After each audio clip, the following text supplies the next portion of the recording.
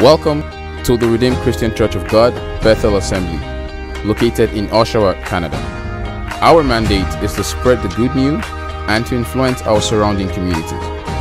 We hope your time in this place of worship, love, communion, service, and community will be a glorious and life transforming experience. This is a place for your entire family, a place for you and me.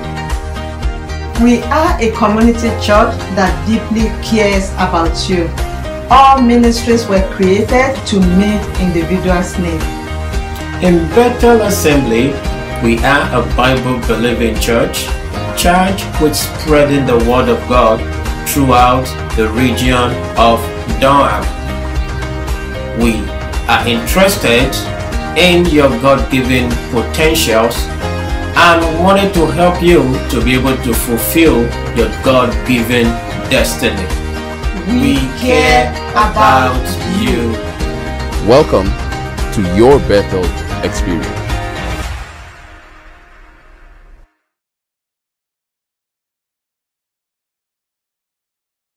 Hallelujah. I want to welcome every one of us into the presence of the Lord. I want to welcome you to Bethel Experience. And for as many of us who have, you know, been following the Holy Ghost Congress, you and I can testify that God has spoken. And so I want you to turn to your neighbor and say, neighbor, relax. The siege is over. It's finally over. It's certainly over. It's surely over. In the name of Jesus. And so we're going to go into a Thanksgiving session. We want to just thank God.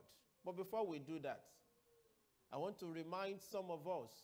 I know some of us may watch, you know, a few sections there, but I still want to remind us on what will happen when the siege is over. Amen. When the siege is over. I'll be speaking about that this morning. Esther chapter 8. Let's read from verse 7. The book of Esther, chapter 8. We'll read from verse 7 to verse 14. When the siege is over. It's not if. Amen. The siege is what? Is already over. And so, what will happen to you? What will happen to me when the siege is over? Esther chapter 8, from verse 7, I'll read to verse 14. Then the king Ahasuerus said unto Esther the queen and to Mordecai the Jew, Behold, I have given Esther the house of Haman, and him they have hung upon the gallows because he laid his hand upon the Jews.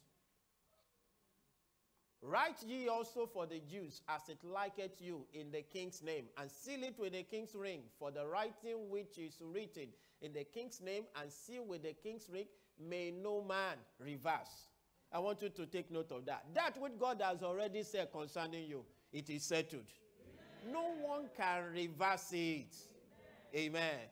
Verse 9, let's continue.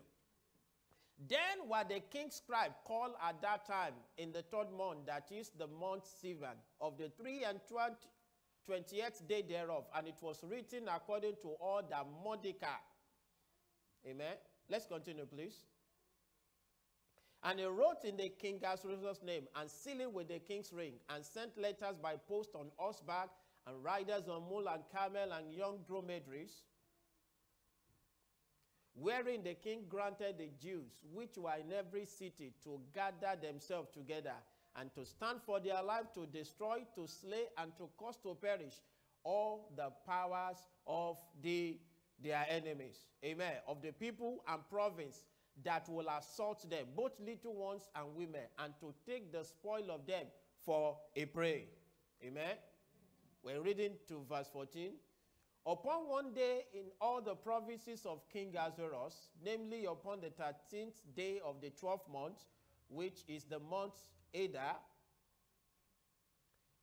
then a copy of the writing for a commandment to be given in every province was published unto all the people and that the Jews should be ready against that day to avenge themselves on their enemies. Amen.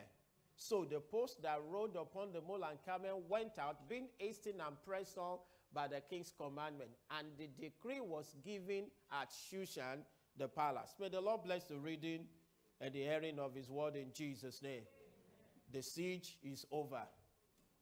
I want you to assure yourself that the siege over my home, the siege over my life, the siege over my family, the siege over the land, the siege over the nations of the world, it is over. It is over. It is over in the name of Jesus.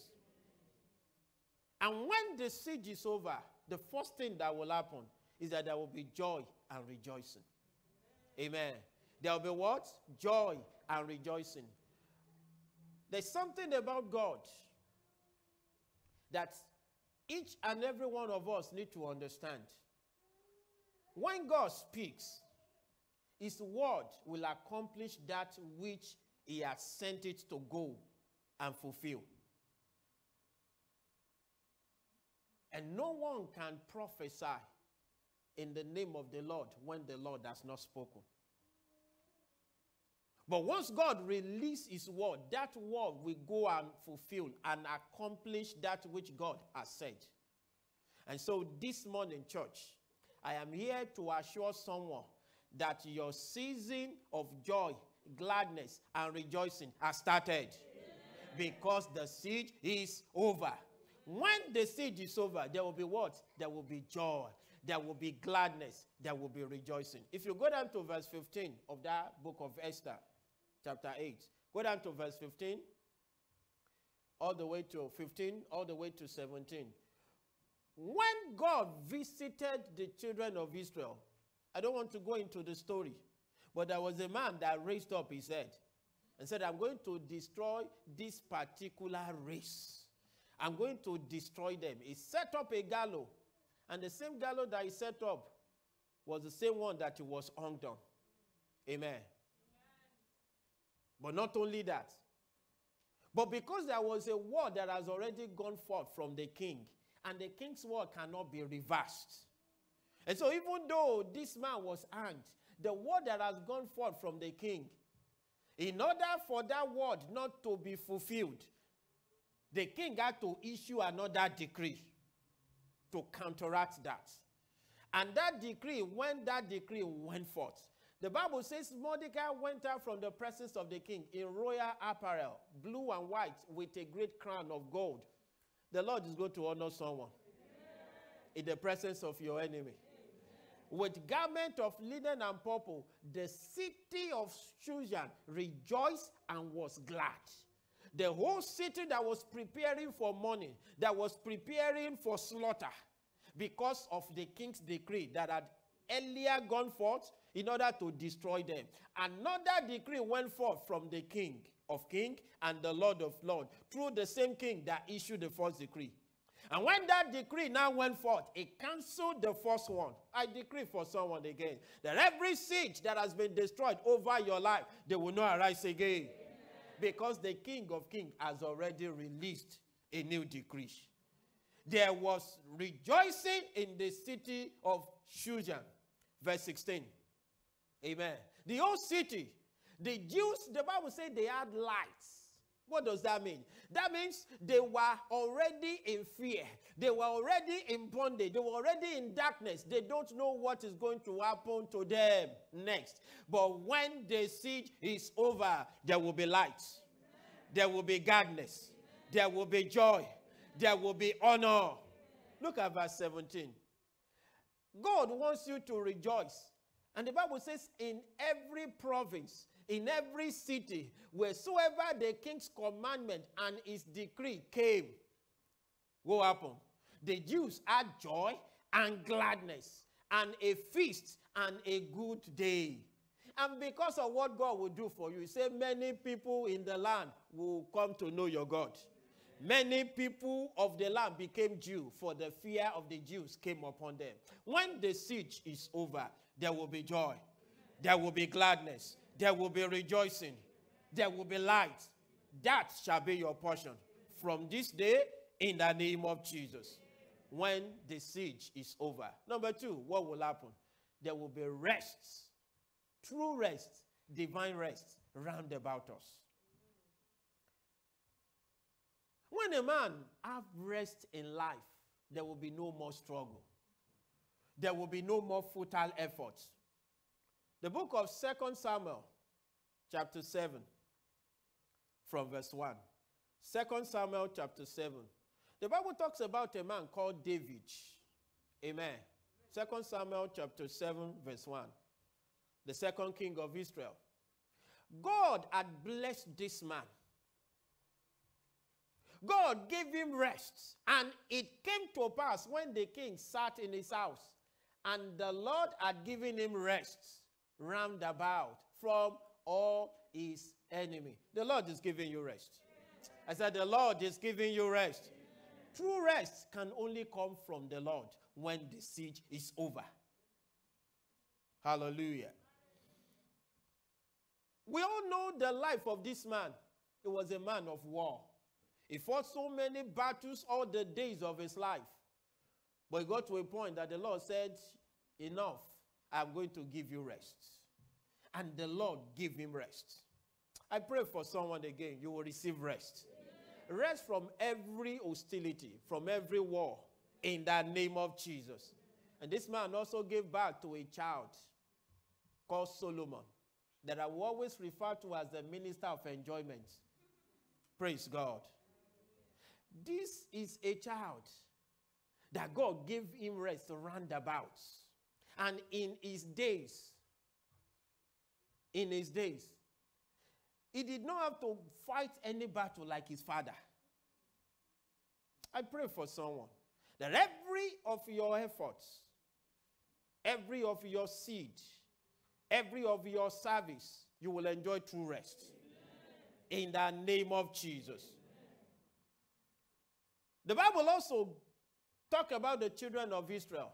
We know how they sojourned in the land of Egypt for 430 years. That's a long time to be in captivity. They received the promise of deliverance from the hand of Pharaoh and divine settlement in the promised land. And we know that God indeed delivered them. But those generations, when they were delivered, they did not enter into that rest. Most of them, in fact, all of them perished in the wilderness, except two. And all their children that they were talking about, that these children would die, those are the ones that now enter into that rest. I pray for someone again. You will not labor in vain, you will not toil in vain. Your labor of your over your children, you will enjoy it. You will live to enjoy the fruit of your labor in the name of Jesus. In the book of Joshua, chapter 21, from verse 43. Joshua, chapter 21, from verse 23. The Bible talks about the children of Israel when God had visited them, delivered them, and took them to the promised land. Joshua 21 from verse 43. 43. God gave them rest. Praise God. The Bible says, And the Lord gave unto Israel all the land which he swore to give unto their fathers, and they possess it and dwell there. Verse 44 Every promises of God for you will come to pass. I said it will come to pass. And the Lord gave them rest round about. The Lord will give you rest. According to all that I swear unto their father, there stood not a man of all their enemies before them. The Lord delivered all their enemies into their hand. Look at verse 45. The Lord is going to give you rest. There fail not out of any of the good things which the Lord has spoken to the house of Israel. All came to pass. What has the Lord said unto you this year? Which word are you holding on to? That's the word of the Lord. All of them will come to pass because it is the word of the Lord. True rest, divine rest. You see, when the siege is over, it will look as if you are the only one that knows how to walk. Because God will give you rest. I decree true rest into your life, into your home, for someone, into your marriage, in the name of Jesus. When the siege is over, what will happen? Number one, I said there will be what? There will be joy. There will be rejoicing. there will be gladness, there will be light, there will be honor. Number two, I also said there will be what? There will be divine rest. There remain, therefore, a rest. Not for everyone, but for the people of God when the siege is over. Number three, what will happen when the siege is over? There will be divine abundance. Amen. I said there will be what? Divine abundance. In 2 Kings chapter 7, verse 16. 2 Kings chapter 7, verse 16. When the siege over the city of Samaria was lifted, something happened. There was so much abundance. Amen. That at the same gates where women were ready to kill their children to eat them. At the same gate, a measure of fine flour was sold for a shekel, and two measures of barley for a shekel, according to whose word? According to the word of the Lord unto you. The Lord is saying the siege over your life is over. And so you are entering into a season of abundance. I said you are entering into a season of abundance. Job 36 11. If you will obey and serve me, you will spend your days in prosperity, your years in what? In pleasure. I speak to someone. You see, it's one thing for the siege to be over, but it's another thing for a man to have good health to be able to enjoy that abundance. And so I speak into someone's life that with long life, the Lord will satisfy you. Amen. I said, with long life, the Lord will satisfy you. Amen. Psalm 91 from verse 15. With long life, the Lord will satisfy you. In the name of Jesus. I also speak to someone, divine health, to enjoy the abundance that is coming your way. Receive in the name of Jesus. The book of Numbers, Numbers chapter 14. Let's read from verse 31. Numbers chapter 14 from 31. Abundance is coming the way of someone. Amen.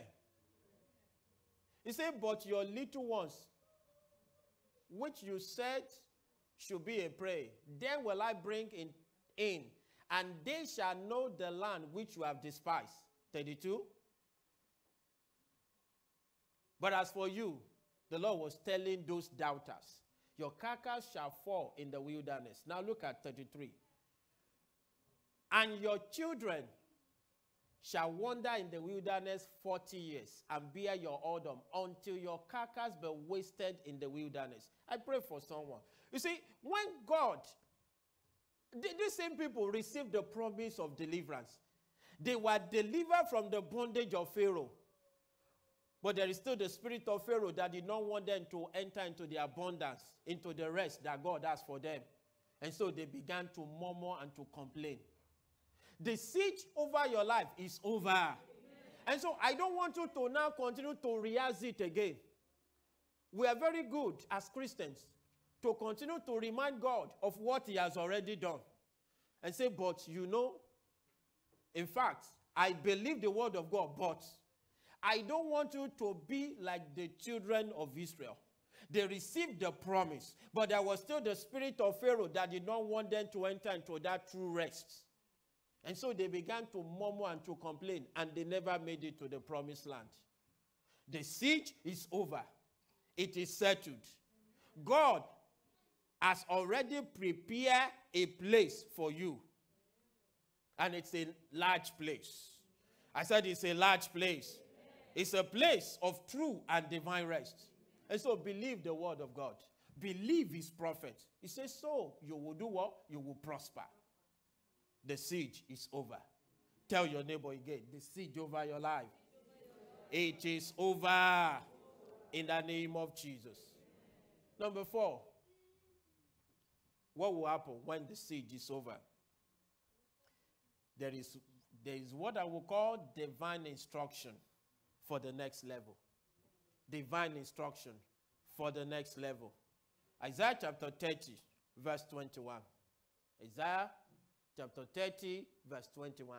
When the siege is over, God will give you words of wisdom, words of counsel, words of guidance, and your ear shall hear a word behind it saying, This is the way, walk ye in it. When you turn to the right, God will give you instruction. When you turn to the left, God will give you direction when the siege is over. But when a man is still under bondage, when the heaven is closed, you will not be able to hear what God is saying.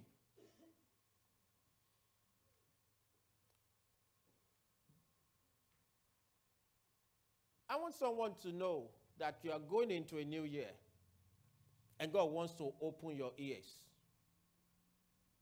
He wants to open your ears to the voice of direction for the next level. To the voice of direction for the next level. In the book of Judges, chapter 6, let's start from verse 11. Judges, chapter 6, from verse 11. There's a man called Gideon. There was a siege over the land of Israel. And God gave them victory. And you know the children of Israel, typical of them. They rebelled against the Lord again. And there was another siege. And the scripture says that siege was so intense that they had to go and build themselves houses in caves and dens to live in. They were so oppressed, and Israel was impoverished because of that siege. But there was a word from the Lord. God opened the ears of Gideon. And there came an angel and sat under the oak, which was in Ophrah, that pertains unto Joash the Abiezerite. And he sung Gideon, thresh wheat by the winepress. To do what? To hide it from the Midianite. Verse 12. Why would you have to hide? Because there was a siege. But the Lord has already said that siege is over. But at that time, Joshua, uh, Gideon, could not see. He was still walking by sight. And the angel appeared and said to him, The Lord is with you. I said, The Lord is with you. The Lord is with you, thou mighty man of valor. You may not see yourself like that now, but I'm here to decree that the Lord is with you. Amen. You mighty man of valor in the name of Jesus. Verse 13. That angel told him, The Lord is with you. And of course, Gideon contested, Well, my Lord, if the Lord is with us, why has all this befallen us? Why has God not showed up? Why is the enemy having a field day? But when the siege is over, look at verse 14. God will give you instruction. The Bible said the Lord looked on him. The angel didn't even address all his complaint. So please tell your neighbor, stop complaining. Because the siege is over. The Lord told him, Go in this thy might, and you shall save Israel from the hand of the Midianite. Have I not sent thee?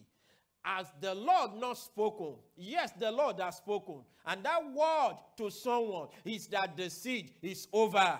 And so go in this thy might and begin to live a victorious life. When the siege is over, you will hear the voice of direction. You will hear the voice of instruction. If you go down to verse 22, God will speak to you. God will minister to you. He will teach you in the things that you need to do that will lift you up above your peers. He will give you insight and direction on what to do that will cause you to be the envy in the land because the siege is over. Praise the Lord. And when Gideon finally now realized, oh, this is an angel, he said, Because I've seen the face of an angel. Verse 23.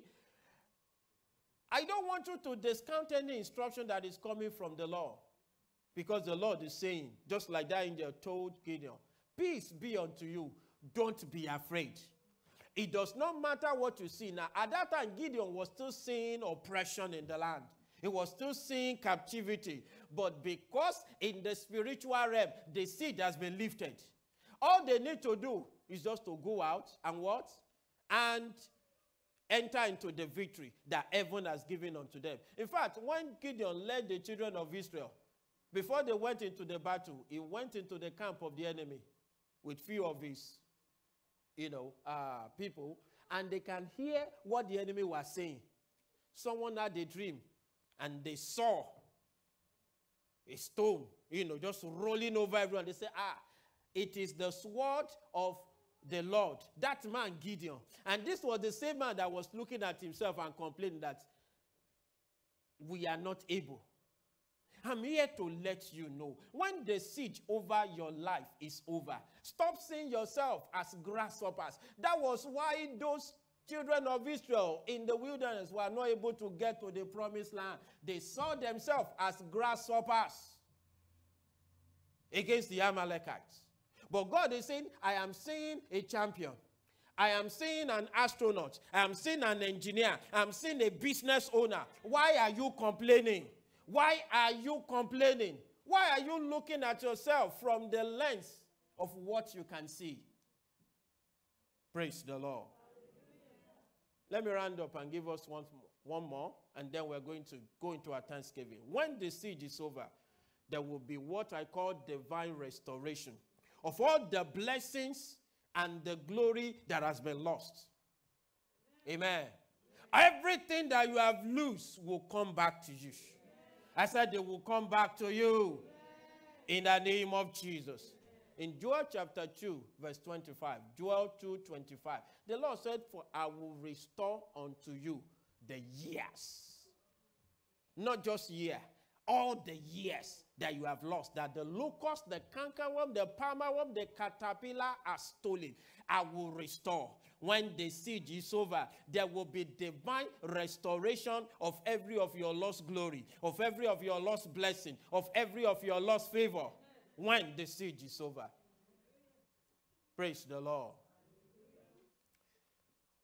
In the book of Genesis, chapter 8, verse 22. We're going to go into our Thanksgiving now. Genesis chapter 8, verse 22.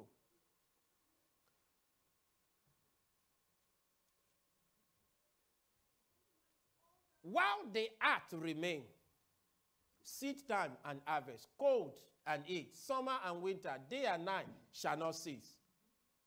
Look at verse 21. 20. Let's start from 20. Amen. Let's start from 20. Noah built an ark. I'm sure we remember the story of Noah. He was in an ark, God preserved his household. And so when the siege of the flood was over, he took of the clean beasts of the fowl and offered a burnt offering. We want to offer thanksgiving. Amen. On the altar. In verse 21. Noah offered of every clean beast on the altar. And the Bible said the Lord smelled a sweet savor. And the Lord said in his heart, I am not going to allow any form of seed to come over you again. I'm not sure someone got that. I said, The Lord is going to smell your sacrifice this morning. He is going to smell your offering this morning. And he will not allow. He said, I will not curse the ground anymore for your sake. Please rise up on your feet. In the book of Exodus, chapter 15, verse 1. Exodus, chapter 15, verse 1. The children of Israel after passing through the Red Sea, they lifted up their voice. I will sing unto the Lord, for he had triumphed gloriously. The horse and the riders had been thrown into the sea. If you go down to verse 11, you see, the enemy that is already coming after you, when they saw their body on the sea, they know that there is no way they can come after them again forever. And so they lifted up their voice and they began to sing, Who is like unto thee. Oh Lord, who is like unto thee? Oh